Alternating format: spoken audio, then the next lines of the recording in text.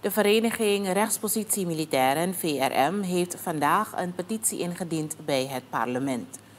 Bondsvoorzitter Rodney Cairo stelt dat de VRM ernaar uitkijkt dat het parlement iets kan betekenen voor de vakorganisatie in het streven naar betere rechtspositionele aangelegenheden voor de militairen. De voorzitter merkt op dat de eis van 150% loonsverhoging nog overeind staat. Als bestuur van de Bond van Militair, Ex-Militair, Gepensioneerden en Burgerpersoneel van Defensie, de Algemene Defensiebond, maken wij ons ernstig zorgen over de toekomst en het bestaansrecht van al onze leden en vragen wij hierbij uw aandacht voor het volgende.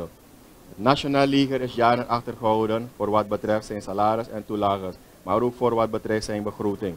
Investering van de overheid jegens de organisatie en haar personeel.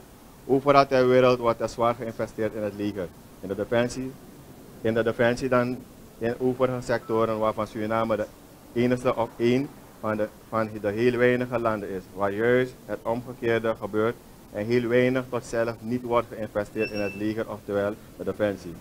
Dit is voor het bestuur, zeker de leden van de bond, organisatie een kwalijke zaak en willen we hierin verbetering in, inbrengen. Sowieso op het gebied van investeren in ons personeel, oftewel human resource, en zeker niet te vergeten het logistieke. Cairo zegt dat de bond voor nu, niet in, voor nu in beraad is. Wel staat vast dat de leden van de bond niet meedoen met het komende défilé van 25 november. Dit besluit zal pas veranderen als de wensen van de vakorganisatie worden ingewilligd.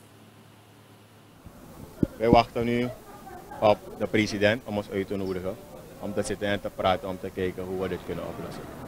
We horen over correctiemaatregelen vanuit het leger. Um, uh, je lacht erom?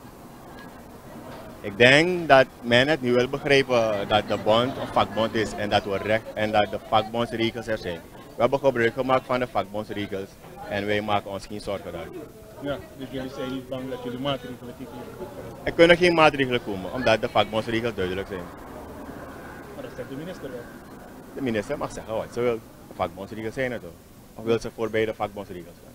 Okay, wat gebeurt er nou vandaag?